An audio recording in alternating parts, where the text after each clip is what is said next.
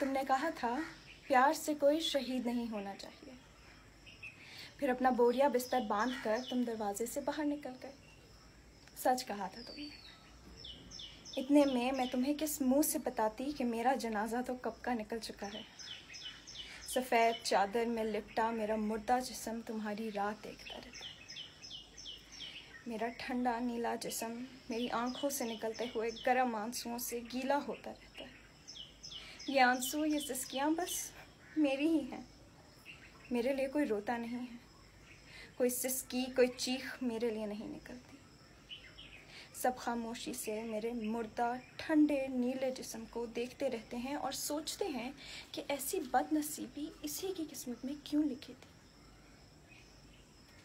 तू जब आएगा, दरवाज़ा खुला ही पाएगा। तेरे कदमों की आहट को सुनकर मेरा मुर्दा जिसम उठकर चारपाई पर बैठ जाएगा। तेरी तरफ़ देखकर मुस्कुराएगा, तुझे अपनी आगोश में बुलाएगा। तुम आओगे, अपना दिल बहलाओगे। दुआ का वादा करके दरवाजे की तरफ़ फिर लौट जाओगे। और मेरा ससकता कुर्ता जिसम इंतज़ार की घड़ियाँ फिर गिरना शुरू हो जाएगा। सोचती हूँ, सच ही कहा था तुमने प्यार में कोई शहीद नहीं होना चाहिए। खुशी इस बात की है कि तुमने अपने आप को तो बचा लिया। कहते हैं, कुछ पाने के लिए कुछ खोना पड़ता है, सब खोकर इंसान क्या पाता है आखिर? इस ज़िंदा लाश के साथ घड़ी को घूर घूर कर वक्त को अपनी नज़रों से चीर सा दिया है मैंने।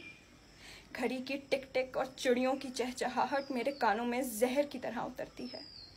रातों को बिस्तर में लोट पोट होकर मेरी कमर अकर सी गई है। तू कब आएगा? तू आएगा भी या नहीं? सवाल मेरे कानों में चीखते हैं, धाड़े मारते हैं। जवाब नहीं है मेरे पास। जवाब तो तेरे पास भी नहीं है तो फिर इंतज़ार किस बात का है?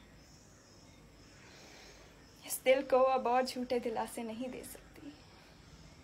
इन लोगों से कहो, मुझे कंधे पर उठाकर किसी कबर में फेंक आए। और इंतज़ार किया। तो मेरे मुर्दा जिसम की बदबू से सबको उल्टी आने लग जाएगी।